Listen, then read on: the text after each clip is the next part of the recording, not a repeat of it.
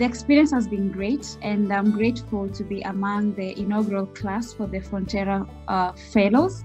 And uh, to start with, um, the experience in terms of uh, teaching, I was slotted to teach in the academic year 2020 to 21, but due to the Frontera Fellowship, I was I, I'm not teaching currently, and uh, um, I was able now to focus more on my research.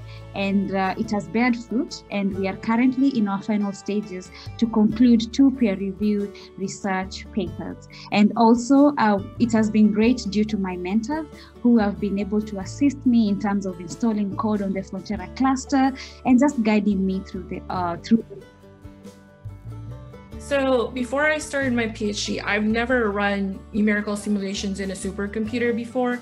And I, I always do it on a desktop and I thought it was like the best thing ever because I'm able to run a storm in about like eight to 12 hours. But transitioning into a supercomputer definitely sped up the work and learning how to use it to schedule jobs. So I've been able to simulate a lot more experiments than I've used to. Um, I've done plenty of simulations and um, learning how to program to be able to automate jobs is, is really great. I was able to do some two classes, audit classes, and it's because of the Frontera Fellowship that has enabled me to do that. Because as I said before, I wasn't teaching, so I was able to focus more on research, and I had time to do other things.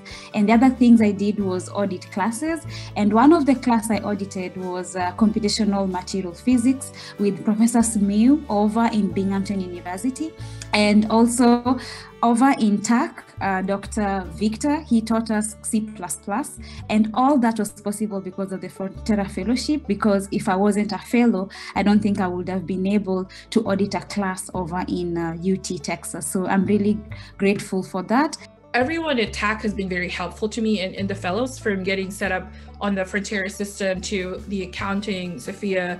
And I've been very fortunate to be able to attend workshops also in TACC. Um, it's been very helpful because I learned programming during those workshops. Also, Ro- Rosie and Natalie has been on top of everything during meetings. Rosie has icebreakers to make sure like you know, we don't stay quiet all the time and we get to know each other even if we're doing this remotely.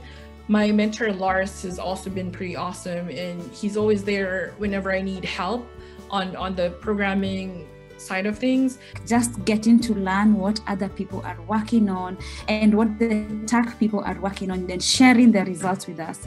That has been an amazing experience. And just being able to meet our Frontera, the other Frontera fellows online even though it's not in person some of them have become my friends.